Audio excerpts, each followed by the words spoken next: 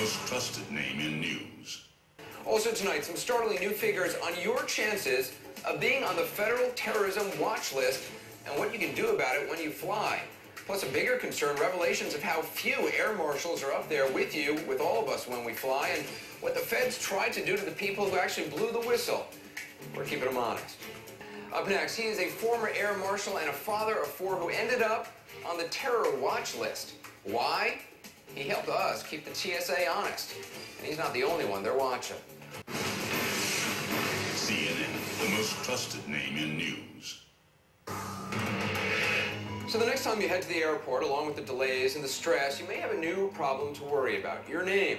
It might actually be on a terror watch list. If it is, you're going to have a lot of company. In a new report, the ACLU says that a million people are on the FBI's list of potential threats. A million people. Among the many names, this guy, Drew Griffin of CNN's Special Investigations Unit. How he got there on that list may actually surprise you. We'll tell you about it, and we'll also show you how to find out if you're on the list. First, though, what happened when someone blew the whistle, what your government did instead of simply working harder to keep us all safe? Keep them honest. Tonight, here's what Drew uncovered. The story stung the Air Marshal Program and the Transportation Security Administration.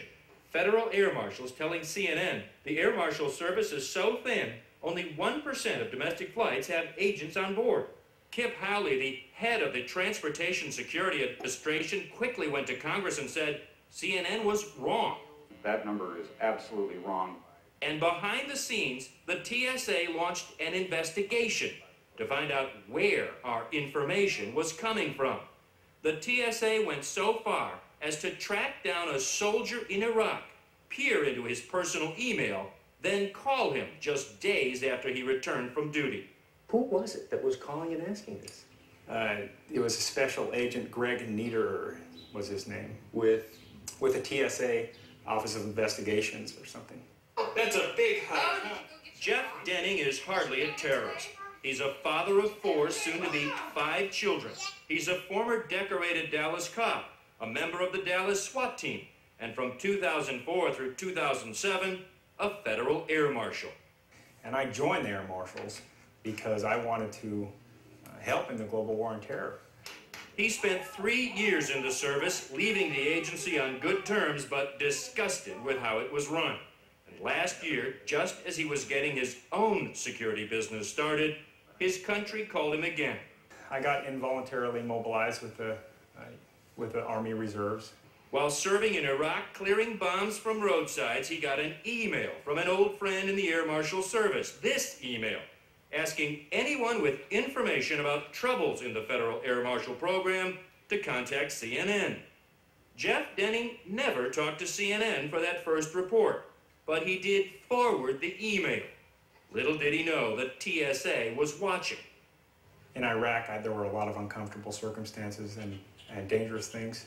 And never, Drew, have I been so scared of when the federal government called me on my home phone and said, I want to know about your personal email accounts and what you have been sending.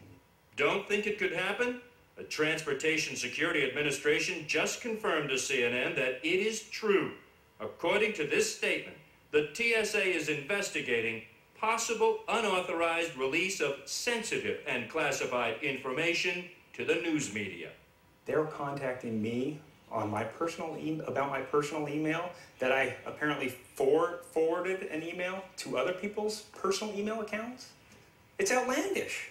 The TSA denies it looked into personal email accounts, but did state all emails sent to government employees on a government system are always eligible to be read and reviewed, as is outlined on every computer in TSA, including the fans, and apparently including soldiers in Iraq. And apparently, despite all its snooping, the TSA still hasn't found the source of this original email.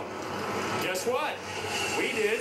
The email that I sent asked colleague air marshals of mine to contact CNN. He is an air marshal disgruntled with the agency and hoping some media attention would change things. He says the usual channels inside government have led to retaliation and little action, which is why he wants his identity protected. the only option that we had left was to contact the media. And that is the reason why I sent the email out to my air marshal colleagues, telling them that CNN would is willing to expose the corruption publicly. Jeff Denning was not one of the air marshals who came forward, but he is coming forward now, hoping the TSA will stop looking into his email and start looking for real threats to the nation's security. So, Drew, the TSA said that your story was without merit, no basis in fact. So, why is there this apparent witch hunt to find out who, who's, you know, sent this email? Anderson, two reasons. Number one, I think we were right, and that was an embarrassment to the TSA to have that uh, figure out there. The other one comes from the air marshals themselves. They said there's a real effort in the Federal Air Marshal Service to keep anybody from talking. So that's why they're trying to find out who is talking and maybe perhaps put the heat on them. That comes from the air marshals who tell us today, Anderson, these problems persist. They're just not covering the flights. And, Drew, I think I know the answer to this question, but I got to ask it how did you get on the terrorism watch list?